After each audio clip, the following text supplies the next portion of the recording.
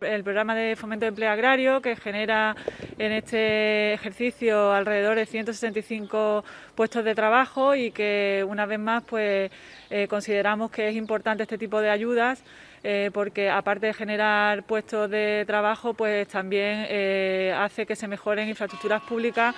eh, como ocurre en el caso de este colegio. Se ha mejorado eh, la carpintería, se ha mejorado también la climatización y, la,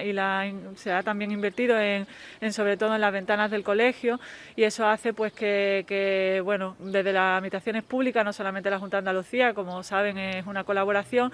pues sabemos que, que, bueno, que este tipo de ayudas funcionan en este tipo de municipios de menos de 20.000 habitantes, como es este caso,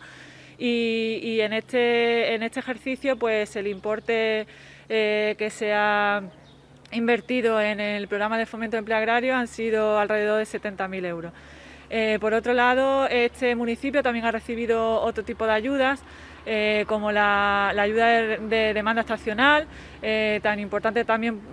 por el hecho de que hay un aumento de población en determinadas épocas del año y que en este caso pues también ha servido para, que se pueda invertir en maquinaria de desinfección por todo lo que estamos viviendo y por esta pandemia de, COVID-19. Nos encontramos en el Colegio San Juan Bautista de la localidad